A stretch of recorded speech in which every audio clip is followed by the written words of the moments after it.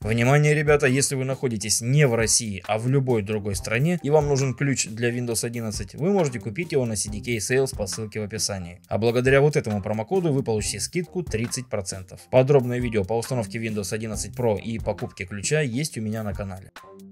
К 2024 году доходы у жителей страны упали, ну либо как минимум не выросли, а на фоне заметно растущих цен понижение доходов в целом, я думаю, ощутили многие. А недавняя рекордная статистика по всяким микрозаймам в этом году, в 2024, как бы подтверждает то, что я говорю. Я знаю, что сейчас многие дурачки там из Москвы, Питера и других мегаполисов написали бы, что все хорошо, типа что ты гонишь, как обычно нагнетаешь, ой, опять свою политоту, ну как бы вы идите в жопу, потому что ваше мнение вообще никого не интересует, потому что все остальные люди живут в стране, в России, а не у вас в Москве и в Питере. Это отдельные страны такие, ми- мини-страны внутри нашей страны, в которые стекаются все бабки. Идите нафиг. Но если говорите, что у вас там все так зашибись и все хорошо, у вас нормальные зарплаты, то возьмите, задонатьте тогда и сможете написать свой говно-комментарий, но только уже на бусте, потому что здесь я комментарии закрою. Специально, чтобы не читать подобную чушь от вас. Повторюсь, если захотите прокомментировать, вот на бусте у вас будет такая возможность. Так вот, в нашей стране, в России, не в Москве, а в России,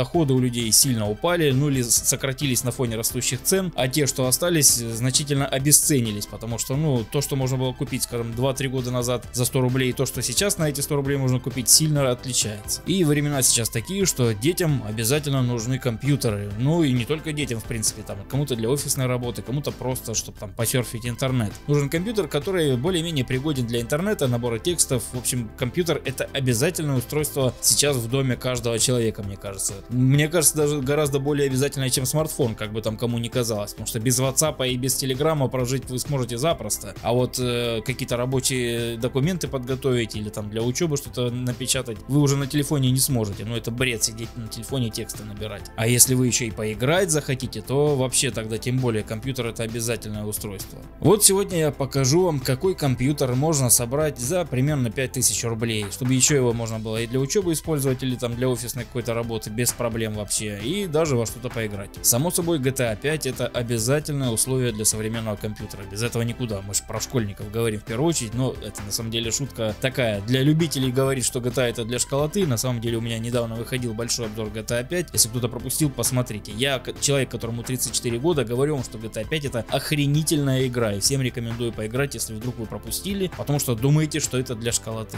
Фух, с лирическими отступлениями закончили, продолжим. Если вам эта тема интересна, то наливайте кто что любит и продолжайте просмотр.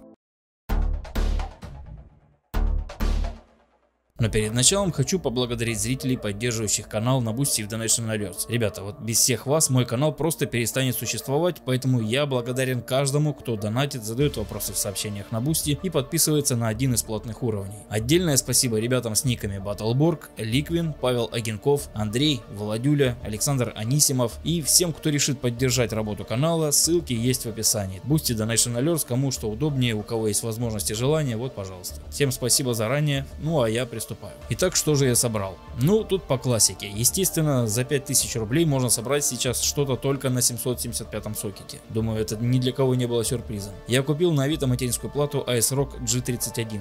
У меня была в тесте, где я тестировал типа настольный Xbox, если вы помните. Вот это оно. Это материнская плата на 775 сокете. На борту два слота для оперативной памяти стандарта DDR2. Поддерживается частота 800 МГц в двухканале. Максимальный объем АЗУ поддерживает до 8 ГБ. То есть поставить добавить сюда можно два так называемых двурядных модуля DDR2, каждый по 4 гигабайта. Но цена у этих модулей даже на Алике настолько охреневшая, что вся сборка становится просто бессмысленной. И не нужно мне писать, что нет, эти модули стоят по 400 рублей.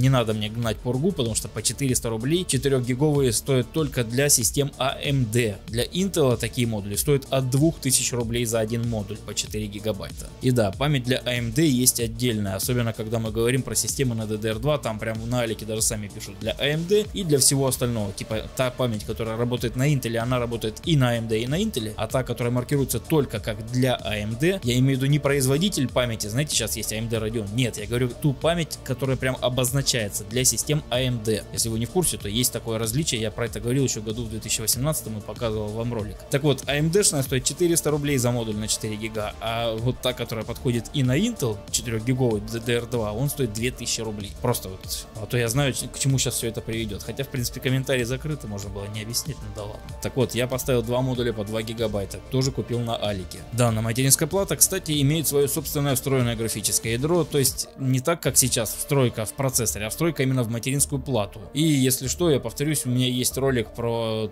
то, где я собирал Xbox Original. Там я как раз тестировал на этой встройке, потому что эта встройка очень близка по своей производительности с графическим ядром первого Xbox. Но сегодня у нас будет дискретная видеокарта, и это AMD Radeon R7 240 с 2 гигами видеопамяти стандарта DDR3. Карта имеет производительность на 75% выше, чем производительность GPU приставки Xbox 360. А это значит, что любая мультиплатформа, которая работала и на ПК, и на Xbox 360, совершенно точно будет работать и на этой видеокарте. Ну и конечно же процессор. На 775 сокет сейчас имеет смысл ставить только четырехъядерные процессоры. Но ставить туда Core 2 Quad я считаю бессмысленным занятием, потому как нормальные квады стоят как нормальные зионы на этот же сокет. Однако у них при этом, во-первых, выше TDP, во-вторых, гораздо меньше объем кэша, чем у Xeon, поэтому берем именно Xeon, так как он тупо быстрее за те же деньги. Я взял самый недорогой среди четырехъядерных Xeonов, это E5 5420. Он сразу уже был подготовлен для установки в 775 сокет вместо 771, продавец прислал его уже переделанным. Так вот, это четырехъядерный проц с частотой 2,5 ГГц, кэш L2 12 МБ и поддерживает шину 1333 МГц. Само собой, чтобы он работал, нужно, чтобы и материнская плата поддерживала такую FSB шину. К слову, та материнка, что купил я, поддерживает даже 1600 МГц, так что можно ставить даже самые последние процы 775 сокета.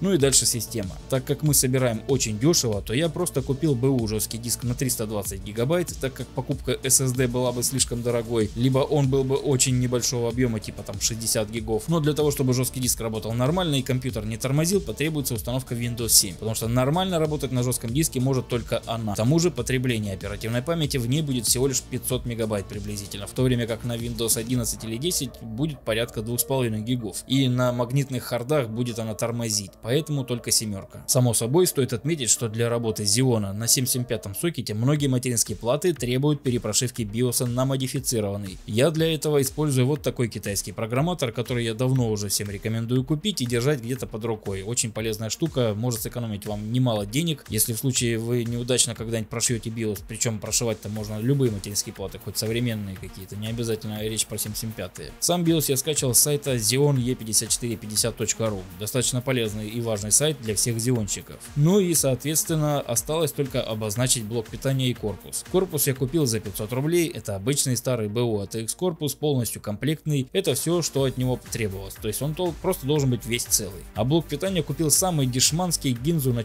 400 Вт, новый за 800 рублей, но зато это именно новый блок питания. И поверьте, этого блока с головой хватит для нашего компьютера. Потребление всех компонентов в этом ПК составляет всего лишь 150 Вт в пике. А если все-таки докинуть тысячонку, допустим, или там рублей 700, то вместо жесткого диска можно было бы купить SSD на 120 гигов, тот бы еще ватт на 20 сократил бы потребление. Вот и все, компьютер собран, все установлено и настроено. Понятное дело, что этот компьютер без труда справится с офисной работой, с набором текстов, с рисованием и даже не сильно сложные проекты в Photoshop ему под силу.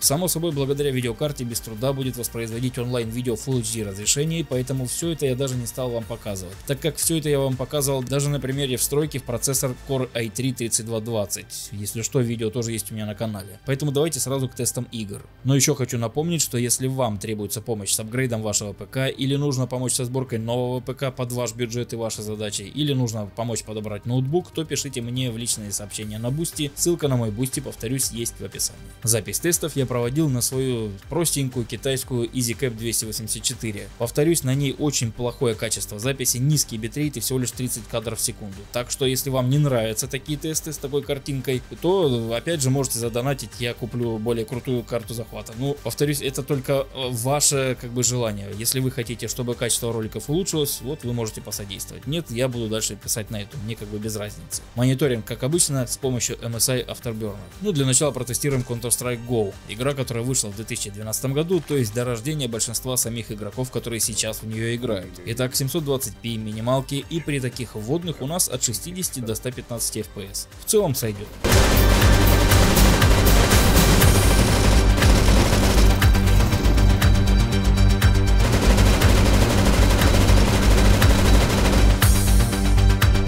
Далее уже классическая игра Mortal Kombat Complete Edition. Это игра 2011 года, которую лично я считаю лучшей частью МК со времен второй части. И на высоких настройках с разрешением 1600 на 900, то есть настройках значительно выше, чем они в этой игре на Xbox 360, у нас стабильные 60 кадров. Игра выглядит хорошо, играть приятно, все ништяк.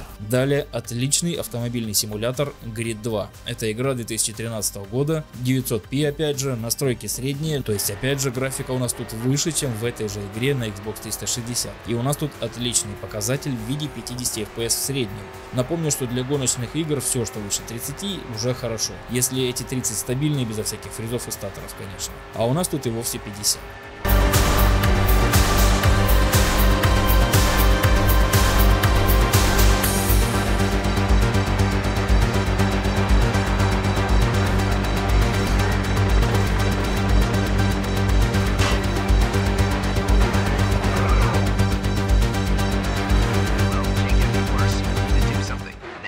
Далее отличная игра 2020 года Streets of Rage 4. 1080p, ультра настройки и у нас тут стабильные 60 FPS. Также сразу могу сказать, что игра 2022 года Черепахи Ниндзя Месть Шреддера тоже просто полетит на этом ПК. Я ее тестировал на более слабых э, графических ядрах, например на старом iMac 2008 года я ее тоже протестировал. И она там тоже без проблем работала, поэтому у нас тут тоже не будет никаких проблем. Ну и конечно теперь GTA 5. Средние настройки, повторю, средние, а не стандартные. То есть половина настроек на высоких, половина на стандартных. В общей сумме получается серединка. 720p и у нас всегда больше 30 кадров. Играть можно без проблем вообще. И да, тем, кто досмотрел до этого момента, даю лайфхак, а точнее обязательное условие в любом игровом ПК. Я много раз говорил, что файл подкачки в любом игровом ПК должен быть установлен вручную, а не на авто. Его объем должен быть равен не менее объему оперативной памяти, поэтому GTA 5 отлично идет даже на 4 гигах оперативки, вопреки многим тестам из YouTube. Просто поставьте вручную файл подкачки качки равной 4 гигам в исходном и, например, 8 гигов в максимальном. И все, и все будет работать нормально, без тормозов от нехватки АЗУ. Конкретно с GTA 5 это отлично работает. Само собой, всякие Майнкрафты и Доты тут тоже полетят без проблем. Вот такой ПК за 5000 рублей можно собрать. Его хватит и для поработать, и для поиграть школьнику, у которого нет никакого компьютера. Могу также добавить, что для экономии можно купить квадратный 19-дюймовый монитор, так как на Авито они значительно дешевле, чем широкоформатные. Урвать можно там рублей за 500 даже сейчас, если хорошо хорошо поискать. Итак, еще раз, ищите материнку за 500 рублей с чипсетом G31 или G41, их на Авито полно. Далее идете в описании под это видео, там найдете ссылку на процессор и оперативную память, которую нужно купить. Далее покупайте совершенно любой кулер сокета 775 на Авито, опять же их там по 150-200 рублей продают, потому что они как правило больше никуда не подходят. Там же ищите видеокарту R7 240, их обычно отдают по 1000 рублей. Покупайте жесткий диск за 500 рублей объемом 250-300 гигов, любой блок питания за 800-900 рублей, желательно новый, мощностью 400 Вт приблизительно. Любой корпус до 500 рублей на Авито, опять же их полно. И у вас готовый ПК за пятерку. Надеюсь, кому-то я помог, потому что я знаю, что многие люди не могут позволить себе каких-то компьютеров там за 30-40 тысяч рублей, и они все думают, им же в ютубе все наговорили, типа, что невозможно собрать ничего за 5000, чтобы этим можно было нормально пользоваться. Я вас уверяю, что вот этот комп за пятерку получается, ну, для повседневных офисных таких задач просто отличное решение, вот, вообще беспроблемное какое-либо. А если вы еще хотите поиграть, то вот список игр приблизительных, которые он тянет, я вам сегодня продемонстрировал. Любые старые игры там до 2010 года, которые выходили на Xbox 360 и на комп, этот компьютер будет тянуть просто без проблем.